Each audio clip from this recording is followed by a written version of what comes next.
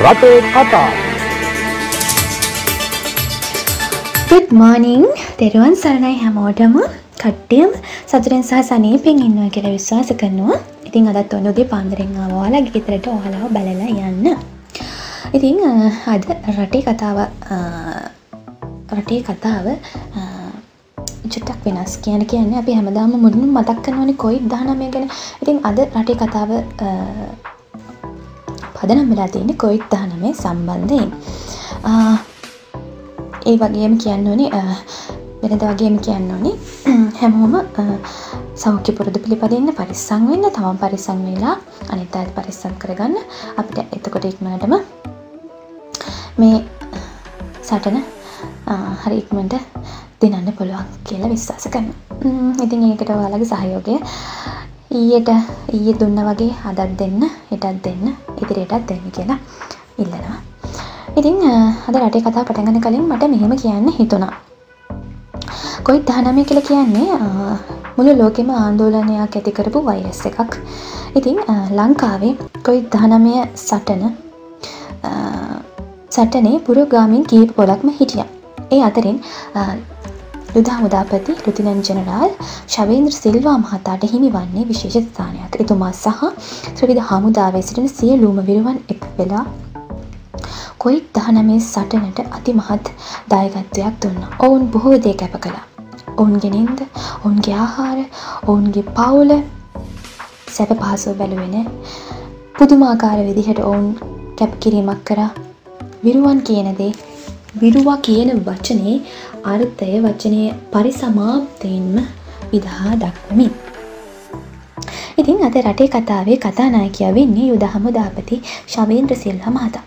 එතුමා මහනුවර මල්ලතු පාර්ශවයේ මහනායක තිබ්බටුවාවේ ශ්‍රී සුමංගල නාහිමිපාණන් බැහැ දැකළ ආශිර්වාද ලබා ගන්න ගියා.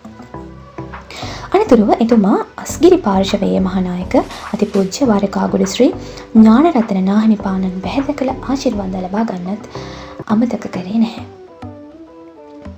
ඒ වගේම තමයි එතුමා කොයිත් දහ නමය තවමත් සියට සියක්ම ලංකාවෙන් තුරන් වෙලා නෑ කියලා ඒ වසංගතය කොයි මොහොතේ කොයි මොහොතේ කොහෙන් අපිට ආයේ දැකගන්න පුළුවන් වීද කියලා කියන්න බැහැ සහ දැනට කොයිත් දහනමේ රටේ තත්ත්වය ගැනත් පැහැදිලි කරලා දුන්නා. කියන වෛරසය හැසිරෙන ආකාරය කොයි වෙලේ මොනාකාරයෙන් වෙනස් වෙනවාද කියන ගැන සම් අපිට දැනුමක් ඒ තරම්ම නැහැ.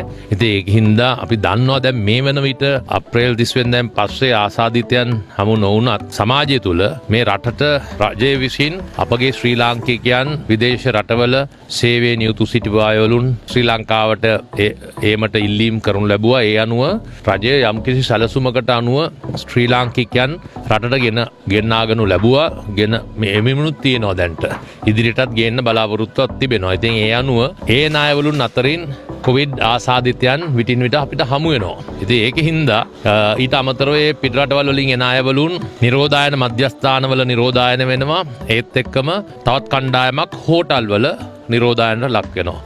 ඉතින් මෙහිදී ඔවුන් අනිකුත් පුද්ගලයන් එක්ක ගැටෙන හින්දා අපිට මේ කොවිඩ් සම්පූර්ණ සමාජයෙන් ඉවත් කරයි කියන වචනේ කීමට හැකියාවක් නෑ. තවදුරටත් විදේශ රටවලින් එන කට්ටිය හින්දා මුහුණේ තෙල් ගතියට ලීව ආයුෂ් ඇලෝවේරා ෆේස් වොෂ්.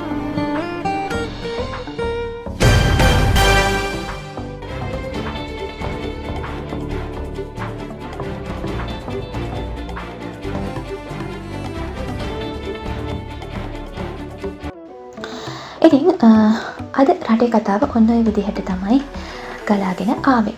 ඉතින් හැමදාම කියනාවගේ අවධානෙන් ඉන්න මොකද රටේ කතා හැදෙන්නේ රටේ හින්දා.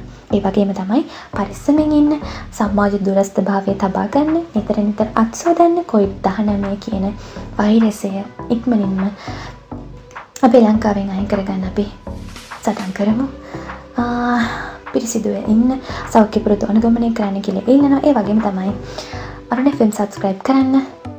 සබස්ක්‍රයිබ් කල් අපේ චැනල් එකත් කරැදිලා ඉන්න කියලත් ආදරෙන් ඉල්ලනවා. එහෙනම් අදට යනවා හිටත් හමුවෙන බලාපොරොත්තු ඇතුව. තෙරවසන්නයි රටේ කතා.